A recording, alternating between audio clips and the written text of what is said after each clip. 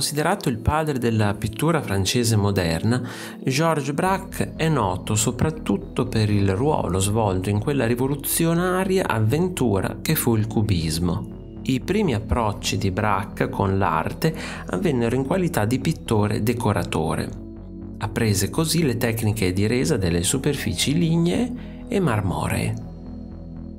Questa formazione instillò nell'artista un forte senso della disciplina, ma soprattutto gli permise di ottenere particolari effetti pittorici che furono importanti per lo sviluppo del linguaggio cubista. Braque entrò nell'avanguardia parigina nel 1906 grazie ai suoi paesaggi fauvisti, dipinti con pennellate decise e con colori innaturali. Nel 1907 lasciò un biglietto nello studio di Picasso a Montmartre sul quale era scritto Ricordi anticipati. Ebbe così inizio una delle più esaltanti collaborazioni artistiche del XX secolo. Per sei anni i due artisti vissero e lavorarono a stretto contatto, rompendo con le composizioni convenzionali e rappresentando oggetti tridimensionali su una superficie a due dimensioni. Braque era un abile disegnatore, ma aveva grande destrezza intuitiva. Con una tavolozza monocromatica decostruì nature morte, scomponendole in una serie di piani di temi ricorrenti, via via più complessi e astratti.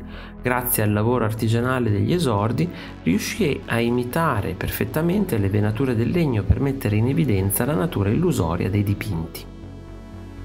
Con la tecnica del papier-collé, che consisteva nell'incollare ritagli di carta sulla tela, mise in risalto la piattezza della pittura. Rimase sempre affascinato dalla rappresentazione di semplici oggetti quotidiani.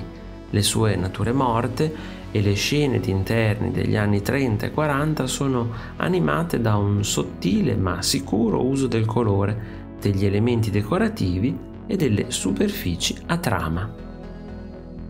In clarinetto e bottiglia di rum su un caminetto, lettere e linee, triangoli e rettangoli sono sparsi sulla tela in un ordine apparentemente casuale che la fa sembrare un'opera astratta.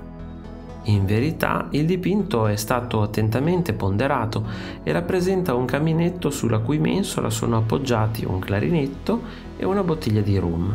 Una pagina di uno spartito musicale è appesa alla parete.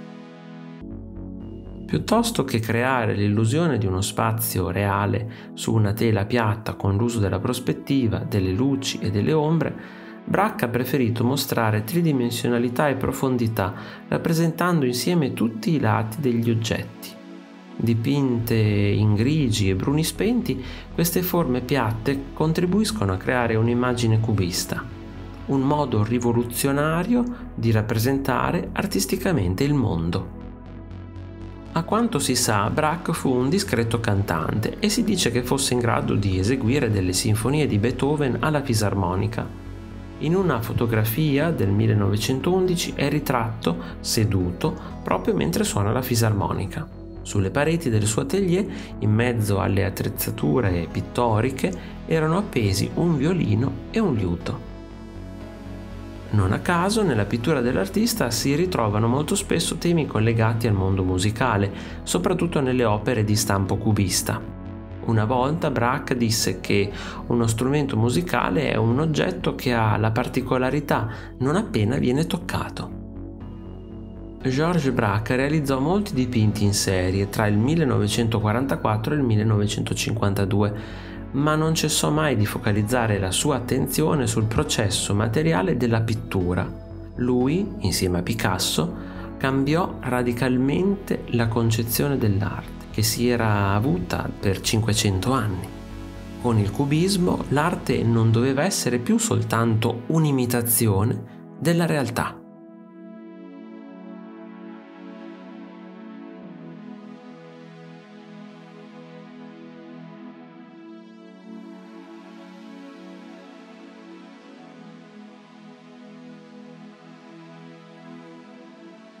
Se ti è piaciuto il video iscriviti al canale, lascia like e condividilo con i tuoi amici.